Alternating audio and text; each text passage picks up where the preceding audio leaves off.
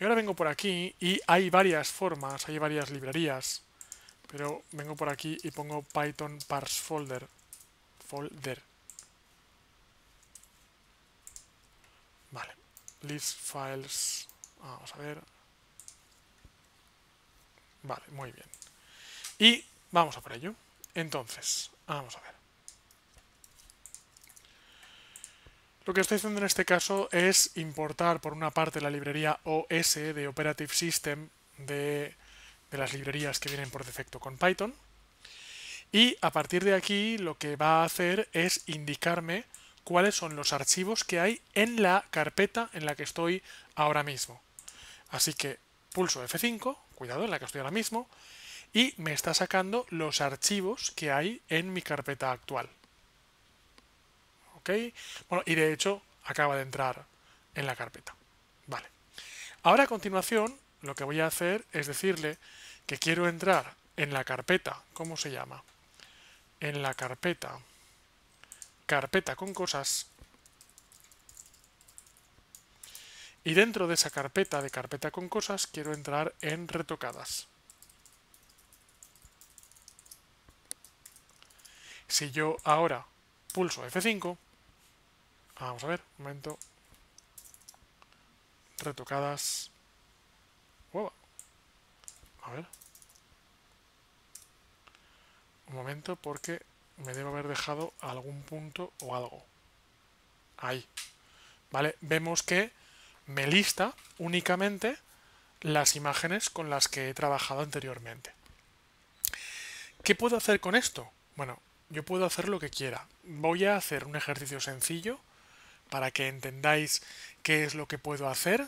De hecho, no va a ser tan sencillo, porque eh, ah, os habéis fijado antes que cada vez que ejecutaba el programa tardaba, no sé, como 5 o 8 segundos en ejecutarse. Y eso que eran imágenes de, de 256 por 256.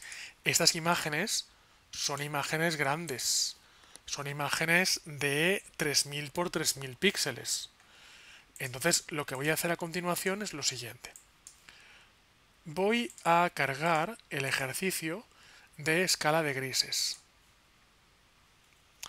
Vale, a continuación lo que voy a hacer... A ver, carpeta con cosas... Momento. Es que me quiero asegurar de una cosa. Quiero asegurar que cojo correctamente las imágenes. Vale. Y ahora, para cada uno de esos archivos, importo pil e importo math. Y ahora, cojo todo esto de aquí. Estoy ahora mismo un poco asustado, lo voy a decir. Menos mal que tengo copia de seguridad. Y ahora cojo esto de aquí. Este print fuera. Este fuera. Vale. Y ahora, quiero file name, quiero, eh, sí, quiero esto más file name y lo que quiero a continuación es esto. Quiero que me cargue cada una de las imágenes quiero procesar la escala de grises y quiero guardarlas. Lo más normal es que dé algún error, vamos a por ello. Bien. Vale, es que justo, justo el de ese store no lo quiero. Justo el de ese store que... Ah, Dios. Vale, el de ese store es un archivo oculto.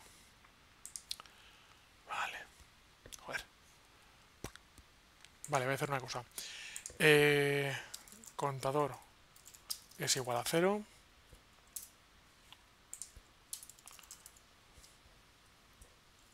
Contador más igual a 1.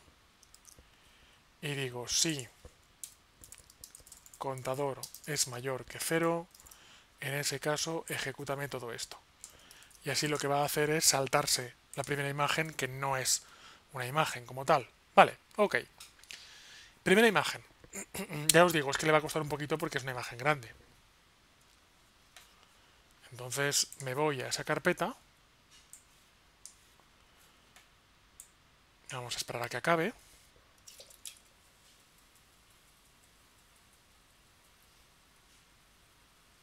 Es que os digo, es, es una imagen grande. Son imágenes grandes, en definitiva. Vale. ¡Ey! No sé si lo habéis visto.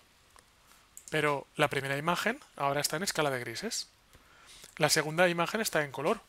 Pero porque ahora mismo está trabajando sobre la segunda imagen, ¿lo veis? ¿Qué quiere decir esto? Pues que yo ahora podría dejar este programa funcionando si hace falta toda la noche. Pero yo sé que al acabar de funcionar, acabe cuando acabe, me habrá convertido todas las imágenes que yo le diga a escala de grises. Lo de convertir a escala de grises, un momento que haga la segunda imagen, ¿vale? Ya está. Lo de convertir, ahora ahí lo tenemos. Lo de convertir a escala de grises es un poco lo de menos. O sea, lo que he hecho es eh, coger un trozo de código que ya conocemos y que sabemos lo que hace. Lo que importa de este ejercicio es que puedo recorrer, eh, por ejemplo, para el entrenamiento de inteligencia artificial del ejercicio anterior. Por ejemplo, ¿Te acuerdas el caso que tenías tú de que tenías archivos de Excel, Dani, que querías trabajar con ellos? Pues imagínate que te pasan en una carpeta mil archivos de Excel. Pues tú puedes decir, pues no hay ningún problema con mil archivos de Excel, porque yo recorro la carpeta, voy pillando uno a uno y realizo la operación que necesite con cada uno de sus archivos. ¿Vale? Es decir, lo potente que tiene este ejercicio es precisamente demostraros como, como, como al igual que cualquier otro lenguaje de programación, puedo recorrer una carpeta y puedo, en definitiva, trabajar con ella. ¿Vale? Vale, a continuación, el tiempo que eh, nos queda de clase, eh, quiero estar trabajando con eh, la librería NumPy. Vamos a verlo por aquí. Porque el otro día, Dani, ¿te acuerdas que utilizaste la librería NumPy para resolver el ejercicio de, de este fin de semana? No, del anterior. Y yo te pregunté que eh, si había sido, a ver, y NumPy, si, exacto, ¿vale? Si había sido por, por la notación de complejidad y tú me dijiste que no. Tú me dijiste que había sido porque NumPy no solo te incluye el soporte para matrices, sino que te incluye un montón de operaciones con matrices, para trabajar fácilmente con matrices, ¿correcto? Eh, recuerdo una vez más, por cierto, lo dije el otro día, pero bueno, que ya sabes que la palabra matriz es incorrecta, ¿vale? Es arreglos o colecciones o arrays. Pero ya sabes que uso la palabra matrices porque, mira, porque la uso mal. ¿Vale? Entonces, voy a importar... ¡Ey, espera, que esto sigue funcionando! Voy a parar el programa anterior. Vale. Import numpy as np y eh, en primer lugar vamos a hacer un repaso acerca de cómo se declaraban las, las matrices, los arrays dentro de NumPy. Entonces digo, voy no, voy a poner matriz, ¿vale? Porque ya sería muy incorrecto. Sería eh, colección, dejadme que no ponga acentos evidentemente para declarar nombres de variables. Por cierto, que las últimas versiones de Python soportan el uso de acentos y ñes en el nombre de variables, pero si podéis no utilizarlo mejor porque no es compatible con todos los compiladores, ¿vale? Y con todos los intérpretes. Entonces, de hecho, en la gran mayoría de lenguajes de programación, no solo Python, sino la, gran mayoría, hace ya unos cuantos años que están soportando UTF-8 para la declaración, o sea, acentos, ñes, cestadillas y todo eso, pero de la misma forma se recomienda que no se use, solo para, para casos donde sea estrictamente necesario. Entonces, en este caso, lo que voy a hacer es np.array y voy a declarar una serie de valores metidos entre corchetes. Los voy a declarar 1, 2, 3, 4, 5, 6, 7, 8, 9 y 0. Con lo cual, con esto, en primer lugar, tengo el clásico print quiero imprimir colección, ya sabéis que una de las cosas buenas que tiene Python es que vomita cualquier cosa, con lo cual me vomita directamente el array y a continuación voy a declarar, voy a definir el tipo de la colección, para comprobar que esto no es una lista ni es una tupla, sino que es un numpy nd array. Vale, en este caso, en este caso, a continuación vamos a trabajar con los índices. Eh, de la misma forma que puedo llamar a colección, déjame que llame a Juan, Jorge, José, Julia y eh, ¿qué más? ¿Nombres que empiecen por J? Javier. Jacobo. No lo sé, con eso tenemos. Eh, diréis, ¿por qué siempre pones nombres que empiezan por J? Pues porque desde que hace muchos años empecé a dar cursos de Java, me he acostumbrado a que en los cursos de Java ponía siempre nombres que empezaban por J. ¿Por qué? Pues porque es J de Java, yo qué sé, tonterías, en fin. Entonces, eh, a continuación, dentro de colección, ya sabemos que puedo devolver todos los elementos o bien puedo devolver, por ejemplo, el primer elemento. Vale, ahora lo interesante, lo interesante, y voy a guardar esto como otro archivo, es, porque esto ya prácticamente lo sabíamos, esto es como una especie de repaso, es saber que, por ejemplo, tenemos la posibilidad de realizar una serie de operaciones con matrices. Una de ellas es una operación que se llama cortar matrices. Entonces, a continuación, lo que voy a hacer es lo siguiente. Vamos a ver. Vamos a decir lo siguiente y... Mm, ahora digo print colección desde 0 hasta 3.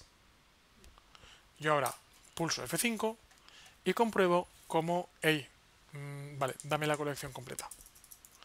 Si viene arriba el type ya no me hace falta, lo tengo en el ejercicio anterior.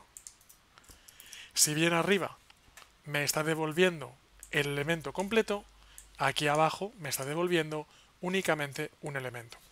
Yo en este caso estoy haciendo un, un, em, un slice, estoy haciendo un corte sobre la marcha. Ahora bien, yo puedo decir que cortado es igual a colección de esto, copio y pego, y evidentemente lo que estoy haciendo en este caso es volcar de forma permanente una matriz en otra. O bien, lo que podría hacer, no lo quiero hacer ahora, es colección es igual a colección 0 de 3. ¿Qué estoy haciendo? Cortar y sobreescribir la propia matriz, ¿vale? Pero no quiero realmente. Voy a dejarlo en cortado. Lo primero que puedo hacer, por tanto, es, eh, voy a decir en este caso, que no solo quiero cortar de 0 a 3, sino que puedo cortar, por ejemplo, de 2 a 5. Pulso F5 y compruebo cómo, ¿vale? Eh, corto José, Julia, Javier. José, Julia, Javier. ¿Ok? ¿Hasta ahora? ¿Vale? Bien, ahora, una cuestión muy divertida, otra de las cosas que puedo hacer con matrices en NumPy, voy a hacer el siguiente ejercicio, consiste en concatenar. Entonces, colección 2 es igual a np.array y venga va, decidme nombres que empiecen con P. Vamos a verlo. Pablo. Y claro, me dirás Pedro, ya que estamos. ¿Qué más? Paco, sería Francisco, pero venga. ¿Qué más? Pío. No es un nombre muy común, pero... Y Paloma. Y vamos a ver, se suponía que los teníais que decir vosotros. En fin. Entonces, yo ahora vengo por aquí y lo que puedo decirle al sistema es que eh, juntado es igual a np.concatenate de colección, coma, colección 2 o el número de colecciones que yo tuviera. Así que ahora print juntado F5. ¡Ey! ¿Qué pasa? Eh, solo integer tu scalar index, ¿vale? momento. Concatenate. Integer scalar arrays. En principio, Solo enteros. Integer escalar. Pero en un índice escalar. Esto es lo que no me cuadra. ¿Por qué? Colección 1 es igual a np.array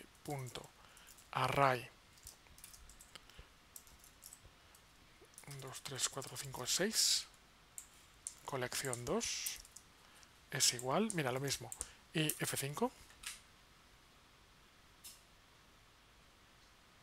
¿Veis? Esto es lo que no me cuadra. Porque he cumplido lo que me está diciendo y ahora sí sigue sin funcionar. Ok.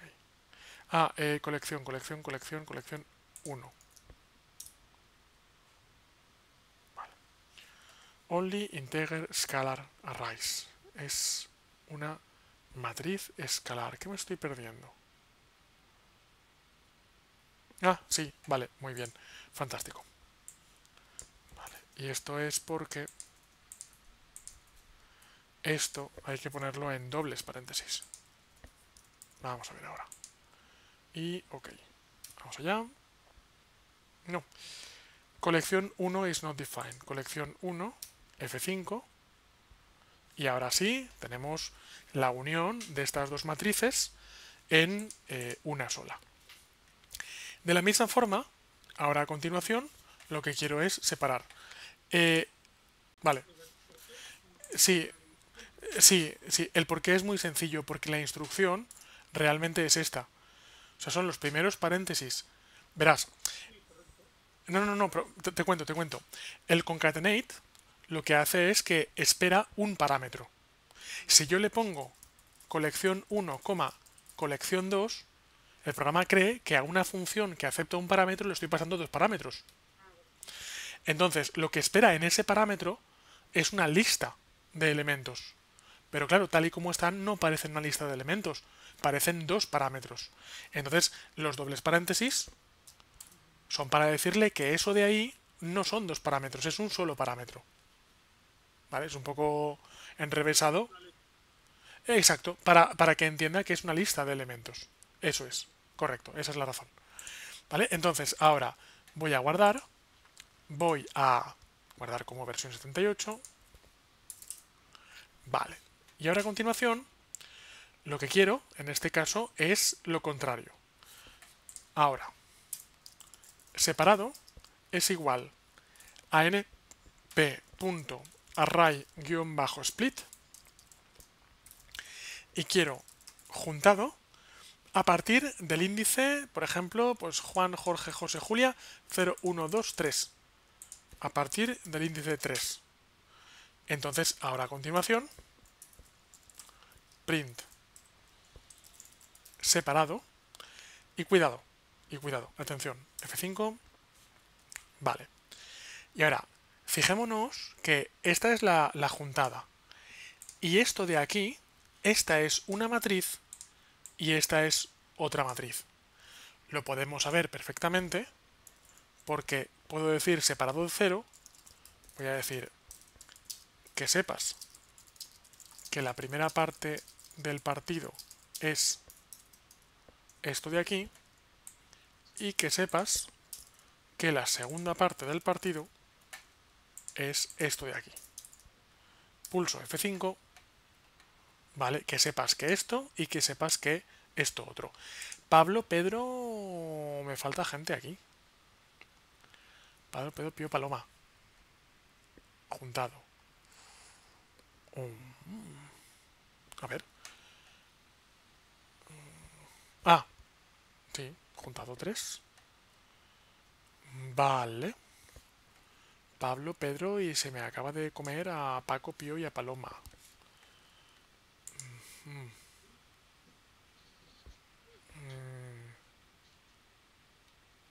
Sí, vale, perdón, perdón, porque no es el índice 3, sino que lo ha partido en tres partes. Perdón, que la sintaxis no es esa. O sea, 3 no es a partir del índice 3, sino que lo parte en tres partes diferentes. Entonces, que sepas que la tercera parte del array es, la primera parte es Juan, Jorge, José, Julia, Javier, Jacobo, Pedro, Pablo y Paco, Pío, Paloma.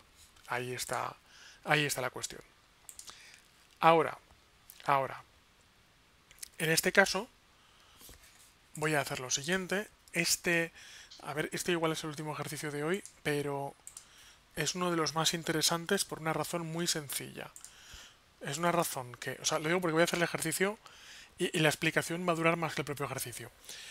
Entonces, voy a concatenar y ahora quiero búsqueda, o sea, quiero una operación de búsqueda, es igual a np.where y digo donde juntado es igual a Juan. Y ahora quiero print búsqueda. Ejecuto F5 y me dice, hey, ¿qué pasa? Eh, ah, ah, perdón, perdón, perdón. Aquí. Vale, es doble igual, es una comparación. Vale, ok. Ok. Me dice array de cero. Ah, sí, perdón, joder, es que justo he buscado el primero. Voy a buscar a Javier.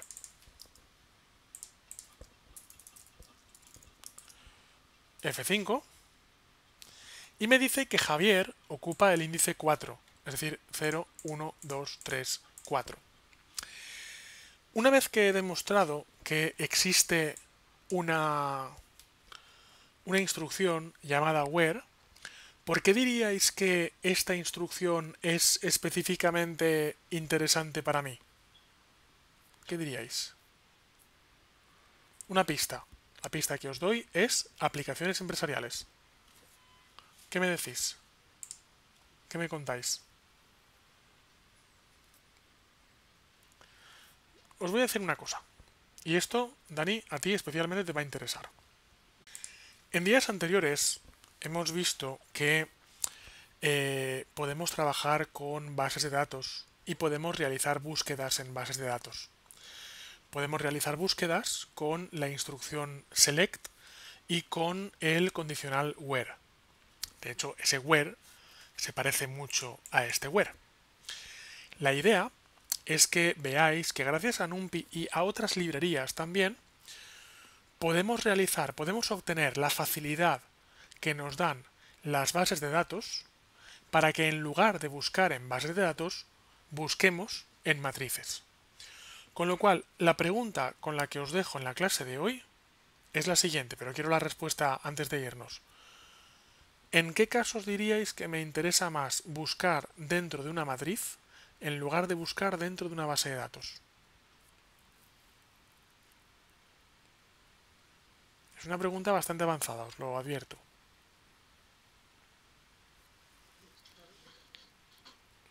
Ahora bien, la respuesta, por ejemplo, a ti, Dani, porque Fernando está más interesado en el tema de domótica, que por cierto, eh, Fernando, este, durante esta semana haremos una tutoría para hablar específicamente de tu proyecto de domótica, pero eh, dentro de que esto que acabo de preguntar tiene poca aplicación en domótica, pero tiene mucha aplicación en data science.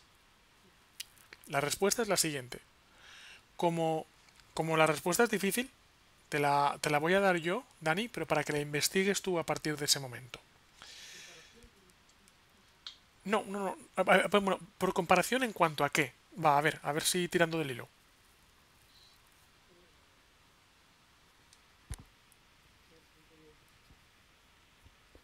A ver, mira, es mucho más sencillo lo que parece. Ahora verás. La gran mayoría de bases de datos trabajan con archivos en el disco duro. Específicamente en motores de base de datos como MySQL hay una excepción que consiste en trabajar con un motor de base de datos que se llama Memory, que lo que hace es cargar las tablas en memoria RAM y descargarlas del disco duro es un motor peligroso porque al ser memory, al ser RAM, cuando reiniciamos el ordenador, o sea, cuando apagamos el proceso, pierde la memoria. Mientras que las tablas que están en disco duro, evidentemente, aunque apague el servidor o apague el mismo ordenador, siguen existiendo, siguen persistiendo. Las tablas, de, las tablas que están almacenadas en disco duro tienen la ventaja de que son persistentes, pero tienen la desventaja de que son lo rápidas que es un disco duro. En cambio, las matrices se guardan en memoria RAM. Y eso quiere decir que tienen la desventaja de ser tan volátiles como la memoria RAM, pero ser tan rápidas como la memoria RAM. Entonces, hay veces en las que cuando empiezas a trabajar con matrices, o empiezas a trabajar con información más que matrices, lo que te interesa es velocidad. Lo que te interesa es trabajar a la mayor velocidad posible. Cuando lo que quieras es velocidad, probablemente una base de datos no te interesa tanto. Te interesa más una matriz. Te interesa más igual cargar datos de una base de datos, convertirlos a una matriz y entonces realizar la búsqueda. Pero claro, cargar todo eso en RAM a veces puede ser engorroso, además de que requiere que tengas mucha RAM. Cuando no se requiera eso, probablemente trabajar con una base de datos estándar es más cómodo. ¿Vale? Entonces, lo que te quiero decir es que igual observáis que eh, estoy muy emocionado por enseñaros que existe este ware, cuando diréis, bueno, vale, un ware tampoco es para tirar cohetes. Sí que es para tirar cohetes, porque en ciertos escenarios, especialmente cuando necesitéis buscar información rápidamente entre grandes cantidades de información, que exista este ware quiere decir que puede ser una alternativa perfectamente válida cargar datos, meteros en una matriz y buscar y obtener datos para buscar de forma mucho más rápida que con una base de datos. ¿vale?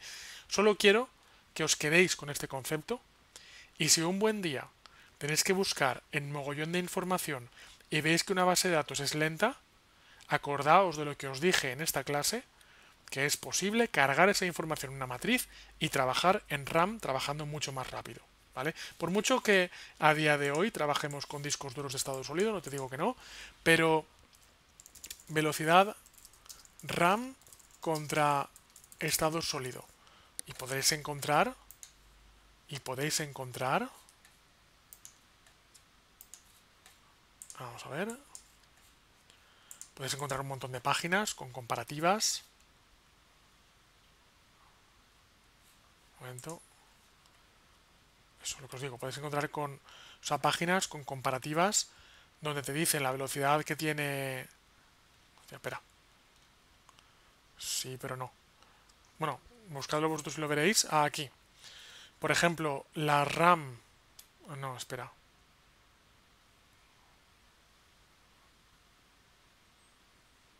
Aquí, eh, 3000 megas por segundo.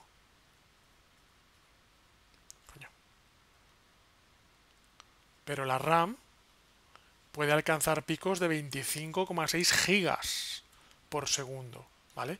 O sea, ahí estamos hablando, bueno, 3000 megas, estamos hablando realmente de, 3 gigas por segundo, mientras que ahí estamos hablando de 25 gigas por segundo. Entonces, por eso te digo que la diferencia entre la RAM y el disco duro en un momento dado puede ser realmente sustancial. ¿Vale? ¿Ok? ¿Lo tenéis claro? Ok, pues nada, continuamos. Entonces, eh, hoy vamos a hablar de, eh, bueno, de varias cosas con respecto a Python que realmente son comunes a, muchos otros lenguajes de programación. Eh, el otro día estuvimos hablando de, al final del todo, de la filosofía de cuándo nos convenía más trabajar con una base de datos y cuando nos conviene más eh, trabajar buscando arrays en, eh, en memoria, ¿vale? Con la librería NumPy o con lo que sea. Eh, hoy quiero empezar hablando de una cosa horrible, de una cosa monstruosa.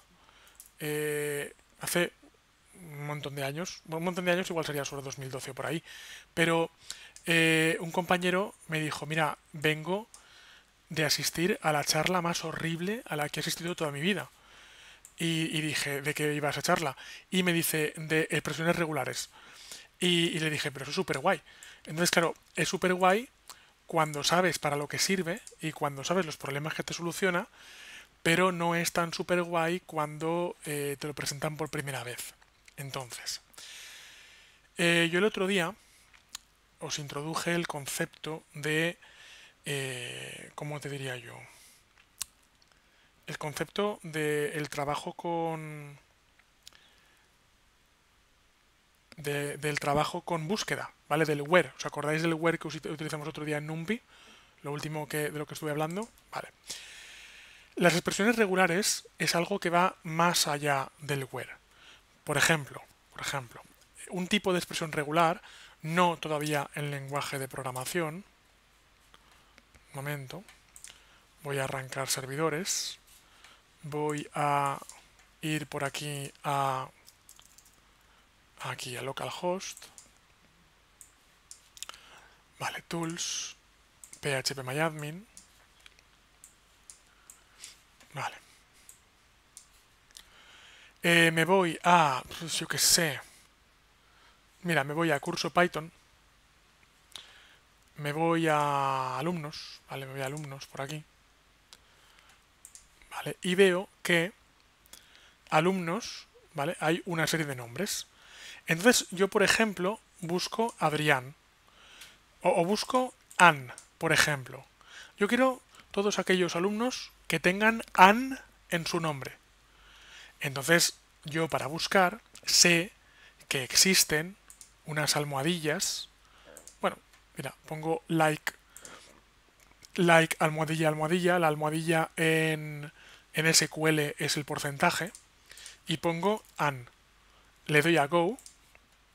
Y me dice, pues mira, tienes Ana, tienes Andrea, tienes... Ah, tienes, qué curioso, Adrián, tienes Alejandro.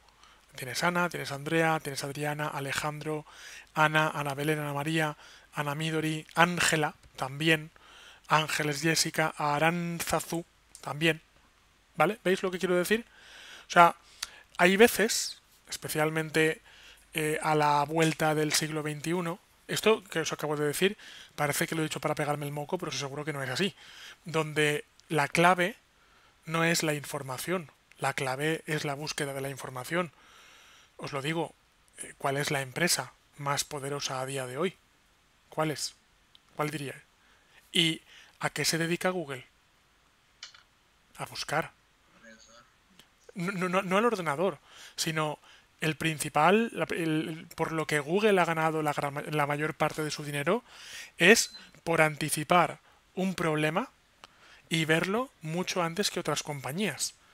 Y es que en la sociedad de la información, el exceso de información es un problema y buscar eficientemente en, en, ese exceso de información es una solución que vale dinero. De esa misma forma, eh, Dani, también te digo que el data science es el siguiente paso. Es decir, el exceso de información en prácticamente cualquier organización moderna es un problema. El data science, como disciplina, lo que hace es poner soluciones a esos excesos de información. O sea, tratar correctamente grandes volúmenes de información. ¿Vale? Entonces, lo que vamos a hablar ahora, lo que os voy a contar ahora, es precisamente eh, una serie de cuestiones que son duras de aprender, pero nos permiten trabajar con eso. Bien, pues voy a crear un archivo nuevo, voy a guardarlo en la carpeta del curso como escritorio, curso de Python, vale, mm, como listado, modificado 80 y eh, regexp que es regular expressions. Vale. Para empezar, el módulo de expresiones regulares hay que importarlo. ¿vale? Entonces, lo primero que voy a hacer es import regular expressions. No hace falta que ponga as porque RE ya es un nombre bastante corto. Entonces, claro, que, esto no voy a poner R, porque, a ver, lo puedo poner, ¿sabes? Pero yo qué sé, es como simplificar más de la cuenta. Entonces, que sepáis que no pongo el as por eso simplemente. Entonces, ahora yo digo, mi texto es igual a, por ejemplo, decirme un nombre de persona. Joder, vale, Segismundo. Pues oye, como, como decía el grupo Kiss, música, ¿sabes? Tú querías lo mejor, pues toma lo mejor. Pues Segismundo. Entonces, a continuación, lo que voy a decir es búsqueda. Uy, ya aquí. Vale. Búsqueda es igual a mi texto.search Ya sabéis que siempre os digo que si algo lo pongo en castellano es porque podéis poner lo que queráis y si algo lo pongo en inglés es que lo tenéis que poner tal cual. Y digo lo siguiente, eh, perdón, perdón, mi texto no. re.search y ahora pongo lo que quiero buscar y dónde lo quiero buscar. Lo de los dos parámetros que hablábamos el otro día, ¿os acordáis? ¿Vale? Entonces esto es mi texto y ahora lo difícil viene a continuación. Y entonces, ahora a continuación digo comillas y voy a escribir lo siguiente. Comillas, eh, el signo de potencia, que es este de aquí, dólar al final, que es esto de aquí, y ahora pongo GIS. Lo que quiero es comprobar, en este caso, si eh, tengo o no tengo eh, todo esto de aquí, ¿vale? Si tengo GIS dentro de lo que sea. Vale, pues vamos a ver. Pulso F5. Eh, no, sí, vale, dirá, vale, no me has dicho nada. Y yo ahora digo print búsqueda. Si le digo print búsqueda, en este caso, wow, me dice known.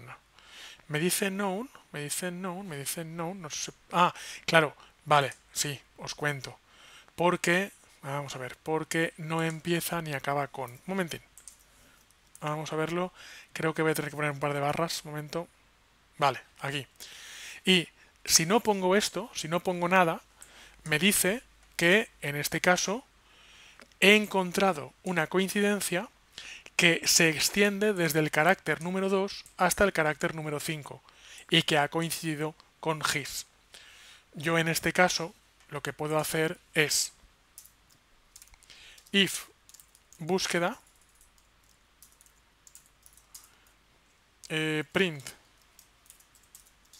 he encontrado un resultado else print no he encontrado ningún resultado. Guardo, recargo, ¿vale? Y he encontrado un resultado.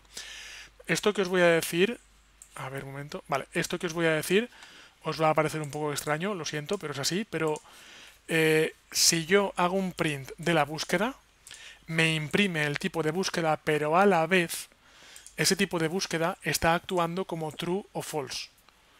Entonces, si pongo if búsqueda, es una sintaxis a veces demasiado simplificada, pero es válida, es igual a poner if true. ¿Vale? Entonces es una forma simplificada. De hecho, fijaos que F5 y me dice, ah, no he encontrado... Hmm, eh, hola, true. Bueno, pues ahora para fastidiar no me lo estaba poniendo, ¿vale? Pero si pongo if búsqueda, quiere decir si esto valida como true, me ejecutas esto. Y si no, valida, no, si no valida como true, me ejecutas eso otro. ¿vale?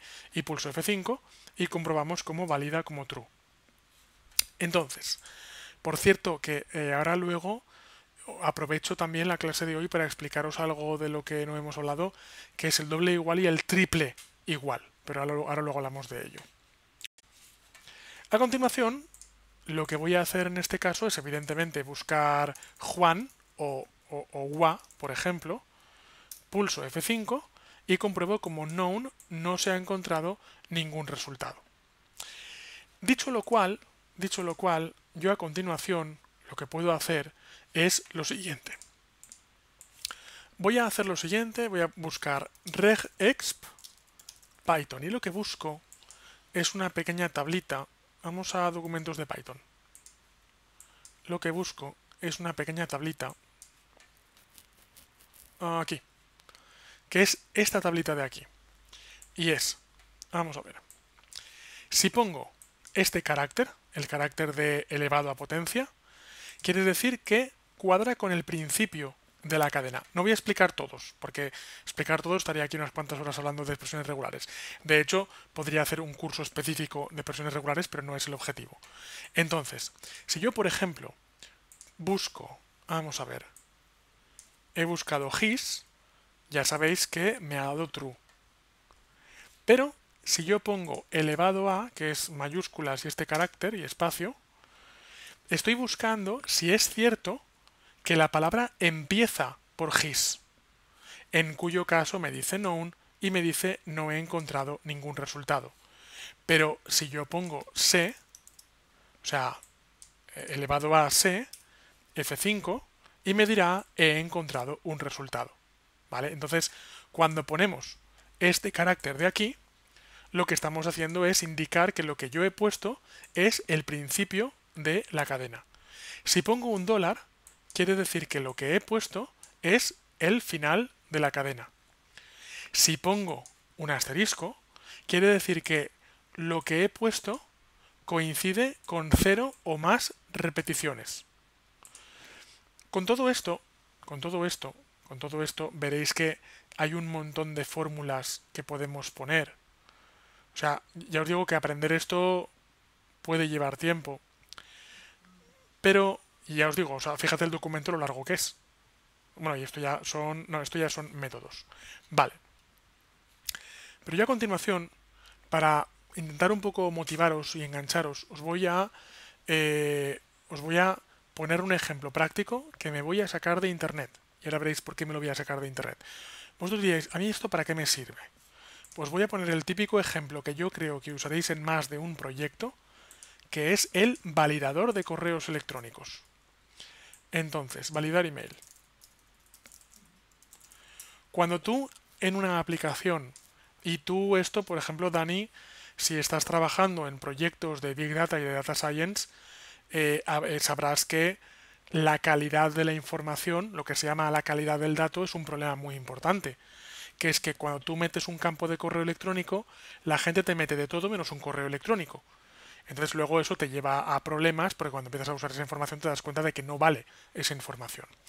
Con lo cual acabas programando un validador de datos para que cuando alguien meta datos no los pueda meter si no tienen el formato correcto.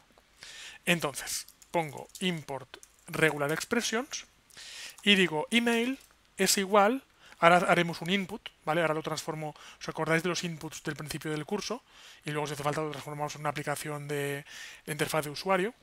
Digo email es igual a info arroba josevicentecarratala.com. Claro, os he puesto el ejemplo del email porque el email es un ejemplo complejo, porque es una cosa que tiene que tener una arroba y tiene que tener un punto y en la extensión tiene que tener un número de letras que no pueden ser menor que una ni mayor que cinco, creo que son. O sea, la regla de expresión regular para validar correos electrónicos os podéis pasar, os lo digo en serio, días enteros para trabajar con, para encontrar la regla. Pero yo puedo ir a internet y puedo decirle Python regular expression email y veréis que en Internet hay expresiones regulares para lo que tú quieras. Entonces, por ejemplo, entro ahí, entro ahí, vamos a ver, vamos a comprobar. Vale. Y, por ejemplo, me dicen, mira, la expresión regular, aquí, bueno, aparte del email regex, ¿vale? Ok. Ahora, ahora hablamos de esto. Pero, a ver un momentín. No, parse. Es que no quiero esto, ¿vale? Porque en email, en utils, hay una utilidad para parsear correos electrónicos, pero lo quiero hacer manualmente. A ver, no. Y dale. O sea, es que la gente dice, sí, vale, instálate la librería de validar emails. Joder, no me quiero instalar la librería, lo quiero hacer yo. vamos a ver. Bueno, pues hala. Y a ver. Fuera, fuera. Ok, vale, eso de ahí es. Entonces, yo ahora digo, regla es igual a esa de ahí. ¿Qué quiere decir esa regla? Bueno, esa regla quiere decir que primero empiezo. Voy a sacar la tablita para que lo podáis ver, ¿vale? Empiezo esto. Empiezo con un bloque que puede ir con minúsculas desde la A hasta la Z, el guion es desde uno hasta otro. Puede tener números desde 0 hasta 9, pero si estoy diciendo que puede tener letras desde la A hasta la Z y números desde el 0 hasta el 9, quiero decir que no puede tener ni dólar, ni barra, ni ampersand, ni nada de eso. ¿vale? A continuación, lo que digo es que puede tener una contrabarra, esto yo, ah, no, no, no, no, no, contrabarra, no, sí, contrabarra, esto lo de la contrabarra no lo sabía, puede tener un punto o puede tener un guion bajo. Y el interrogante quiere decir que esto se puede repetir tantas veces como haga falta. Interrogante. Interrogante quiere decir que esto se... Ah, no, no, no, no. Según esto, solo puede repetir cero o unas repeticiones. Vale, ok. A continuación, puedo tener desde la A hasta la Z más una arroba, o sea, el carácter de arroba no puede ser otro que arroba, y a continuación puede tener una terminación que vaya entre 2 a 3 caracteres. La longitud de la terminación, terminación solo puede ser entre 2 y 3 caracteres. Si busco las llaves, por ejemplo, aquí, ¿vale? Dice que solo puede tener de m a n repeticiones. Ahí hay un problema. ¿Qué problema estáis viendo de 2 a 3? El problema que deberíais estar viendo es que hay eh, terminaciones de dominio que tienen más de tres caracteres. Por ejemplo, si yo busco el Asia Domain, veréis que hay un dominio que se llama Asia, o sea, punto Asia. Pero claro, punto Asia son cuatro caracteres. ¿Vale? Entonces, eh, por eso digo que no vale con copiar y pegar de internet, sino que luego hay que revisarlo y hay que retocarlo si hiciera falta, ¿vale? O igual un día de estos dicen, mira, permitimos a nivel mundial que las cuentas de correo tengan desde la A a la Z, el 0 y el 9 y el dólar. Pues habría que actualizar esta expresión regular para que también admitiera el dólar, ¿vale? O cualquier otro carácter. Bien, ahora lo que voy a hacer, voy a pasar al siguiente vídeo. Bien, ahora lo que voy a hacer es que validación es igual a re. Punto, y en este caso search y digo con la regla no con la regla quiero la el email entonces vengo aquí y digo print validación vengo por aquí ejecuto y me dice match. ¿Vale? En este caso, me lo ha macheado desde 0 hasta 29. O sea, básicamente lo que me quiere decir es que sí, esto es un correo electrónico. Claro, cuidado, si yo ahora pongo punto .asia, sería un correo electrónico válido, pulso F5 y me dice que no. Es un falso negativo, evidentemente. Pero si yo pongo info arroba eso no es un correo válido, pulso F5 y me dice no. ¿vale? Con lo cual, las expresiones regulares nos sirven para hacer validadores avanzados, ¿vale? Y nos sirven para eh, poder buscar, no digo que os tengáis que buscar, o sea, os tengáis que aprender de memoria toda la tabla esta de modificadores de expresiones regulares, pero sí que me gustaría, al menos, que en la clase de hoy hubierais aprendido los básicos, aunque sea el de elevado a y aunque sea el de, el de dólar y aunque sea el de conjunto de caracteres, pero que sepáis que en algún momento dado, eh, si queréis averiguar más, si un cliente te pide un buscador avanzado, que sepas que existe esto de las expresiones regulares. Vamos a hacer esto y ahora hacemos otro ejercicio de expresiones regulares. Entonces, eh, eh, bueno, F5, ¿vale? Y ahora lo que quiero es el input. Entonces me vengo por aquí, abro, me voy a buscar en escritorio, en curso de Python, en... ¿Dónde está el input? Print, multilínea, entradas. Vale. Y ahora yo vengo por aquí y digo, email es input. Print. Dime un correo electrónico. Déjame que ponga un poquito de espacio. Y yo creo que ya. Pulsamos F5 dime un correo electrónico pongo tiki tiki tiki tic y me dice known vale yo a partir de aquí evidentemente podría poner if validación ey, déjame el porcentaje el, los paréntesis no validación print. Lo que has introducido es un correo electrónico.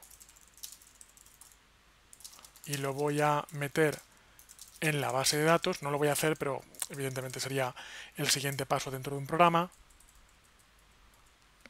else print. Lo que has introducido no es un correo electrónico. Ok, entonces, pulso F5, dime un correo electrónico, pongo cualquier cosa, lo que has introducido no es un correo electrónico, pero pulso F5, pongo info arroba josevicente.com y me dice lo que has introducido es un correo electrónico y lo voy a meter en la base de datos. A partir de este ejemplo vamos a ver un par de ejemplos más sencillos, pero yo pienso que son útiles. Veréis, no sé si habéis visto alguna vez el meme de How a Programmer Sees Its Users. Meme. Este. Por ejemplo, está este de aquí, ¿vale? Que es eh, cómo los usuarios ven al programador, que lo ven como un extraterrestre, y, cómo el programador ve a los usuarios, que los ve como trogloditas, ¿vale? Y luego también está este otro meme, que lo acababa de ver por aquí,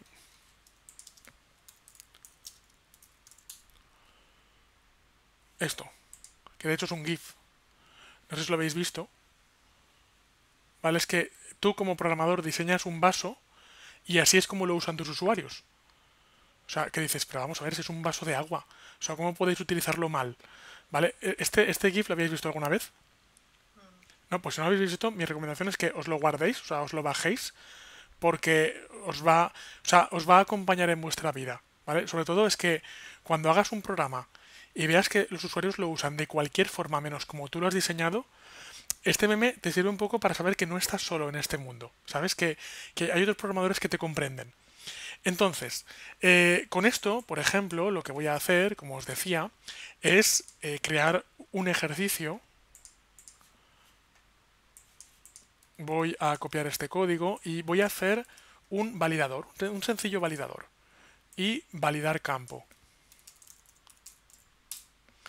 Entonces, claro, eh, yo vengo por aquí y digo, introduce un número.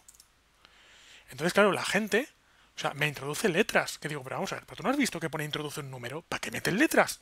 Vale, entonces yo vengo por aquí, modifico esto y me quedo con esto. Y me quedo con, me quedo con algo tan sencillo como esto. Y digo, eh, méteme eso de ahí. O sea, lo que me puedes meter solo pueden ser números del 0 al 9. ¿Vale? Entonces, y por cierto, y esto lo voy a repetir, bueno, ahora veremos. Vale, entonces, eh, válido. Es ok, voy a poner ok. Y no ok. ¿Vale? Para simplificarlo. Recargo. Y ahora introduce un número. Pues número con una letra por, ahí por el medio, ¿vale? He metido una J. Y meto y dice es no ok. ¿Vale? Pero F5, meto todo números Oh, no, ok, vale, porque eso tengo que repetirlo X veces. Em, vale, interrogante. Esto de interrogante... Hmm. Un momento, porque me falta... ¿El qué, el qué? Ah, sí, sí, eh, verás. Eh, para buscar el GIF... Sí, no, no, no, a ver, espera, espera. Eh, eh, para es how a programmer sees its users meme y luego como hay varios memes de estos pon glasswater entonces básicamente es como un programador ve a sus, usuarios. Y sobre todo es que o sea si trabajas en una empresa probablemente pues en un momento dado cuando haya algún momento de tensión viene bien ver ese gif. El típico momento de tensión de que ves que los usuarios no saben por mucho que te esfuerces, no saben usar la aplicación, ese GIF te hace entender que, no estás solo, ¿vale? Que... Sí. Sí. Claro, suelo contar, siempre cuento anécdotas un poco de todo, pero eh, hace poco, hace unos pocos meses, eh, uno de los clientes para los que trabajo me envió a, un ciclo de conferencias, eh, me envió para, o sea, para escuchar como oyente, en plan de, mira, ves, apunta lo que digan y luego nos lo cuentas. Era unas conferencias que se hacían aquí en Valencia acerca de tratamiento de datos y no te puedes imaginar que se me saltaban las lágrimas de, de oír a los ponentes y al resto de personas que participaban en el coloquio decir que tenían los mismos problemas que tengo yo, especialmente con la aplicación que estoy haciendo para ese cliente. Entonces, claro, yo luego volví a ese cliente y le dije, mira, tendrías que haber venido tú a escuchar la charla. Porque claro, si yo oigo a otros informáticos decir que tienen problemas para que la gente meta la información correctamente, pues claro, es como, como los informáticos dando unas palmadas en la espalda los unos a los otros. Pero claro, yo o sea, quería que el cliente hubiera estado en esa charla para decir, mira, o sea, date cuenta que los problemas que tienes en tu aplicación es que no los tienes tú, es que los tienes todo el mundo. Y no tener esos problemas, o sea, conseguir que la gente introduzca correctamente la información en una aplicación, es un reto que tiene todo el mundo. ¿Vale? Entonces, eh, luego hay, hay otra, a ver si la encuentro, ¿vale? Que esta es la, del vaso. Hay otra que es eh, Aliens. Vamos a ver.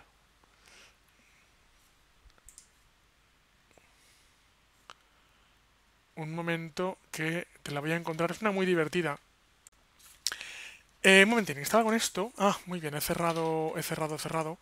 Eh, voy a hacer lo siguiente en el validador... Uy, ¿dónde está el validador? Voy a hacer lo siguiente. F5, claro, esto es... Ok, vale, ahora sí. Entonces, ejecuto de nuevo y es un número, pero pongo una letra Ay, me dice ok, fantástico. Pues, momento, porque no puede ser. Eh, vale, tengo que ver... Mira, ¿sabes qué? Me da igual. Pero como puedo estar toda la tarde para averiguar qué es lo que ha pasado, digo Python regexp only numbers. E insisto que tenéis regex for only numbers. ¿Vale? Y tenéis no. Wow. Vale, qué interesante, nunca lo había dicho. Hala, para adentro. Eh, match con R. Regla esta de aquí. Vamos a verlo. F5. Número, ok. Y ahora F5. Número con una letra y no ok. Vale, pues mira. Pues lo que ha hecho en este caso es a ver, eh, Python regexp es, se ve buscar únicamente, espera que te lo voy a decir, mm, contrabarra, sí, pero, claro, contrabarra,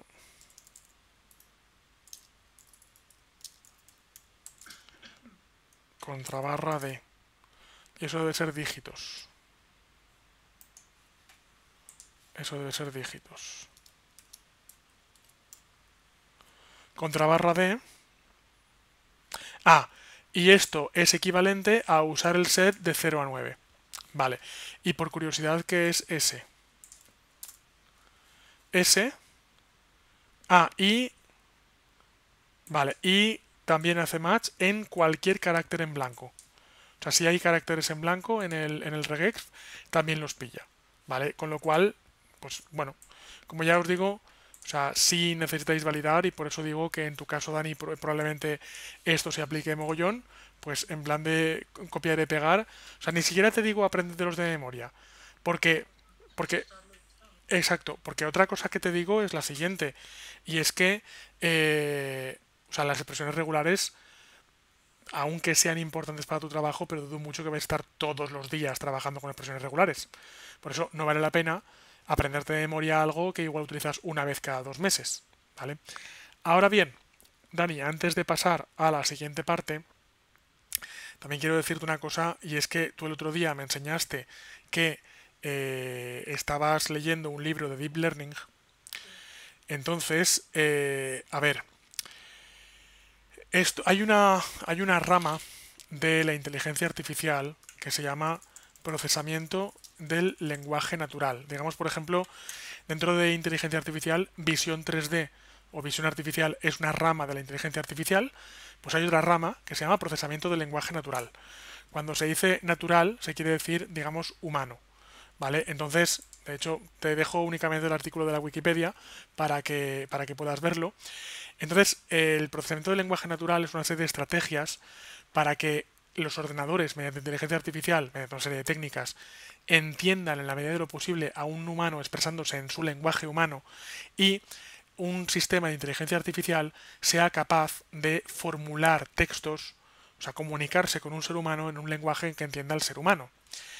Entonces, claro, eh, con esto lo que te quiero decir es que cuando empieces a trabajar con PLN, con procesamiento de lenguaje natural, te darás cuenta de que inevitablemente llegas a una parte que tiene que ver con reconocimiento de patrones.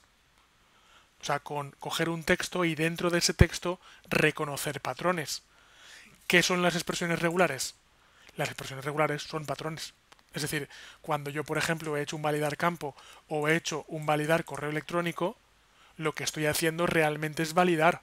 O sea, ¿cómo tú, como ser humano, cuando ves un correo electrónico, cuando ves un correo electrónico info arroba atacata y le falta el punto com, sabes que eso no es un correo electrónico?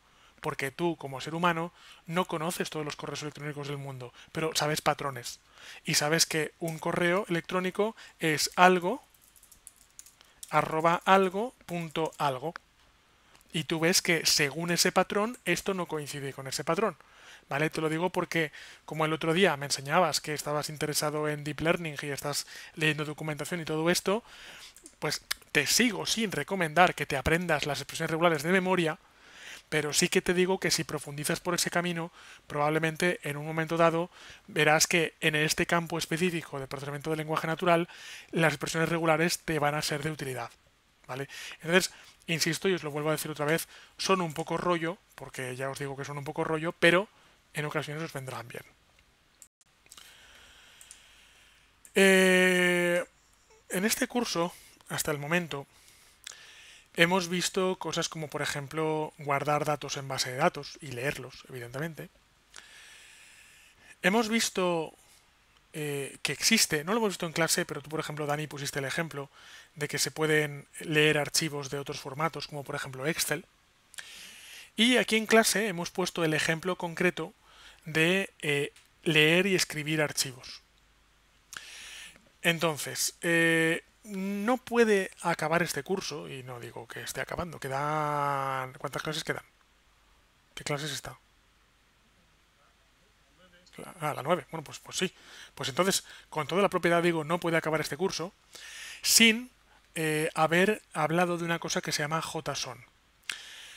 Cuando hablamos de JSON, hablamos de una forma de comunicar Python. ¿Has puesto cara de dolor? Vale. Eh, momentín, momentín, vamos allá, vamos a ello. Pues venga, vamos a hacerlo al revés. Vamos a ver.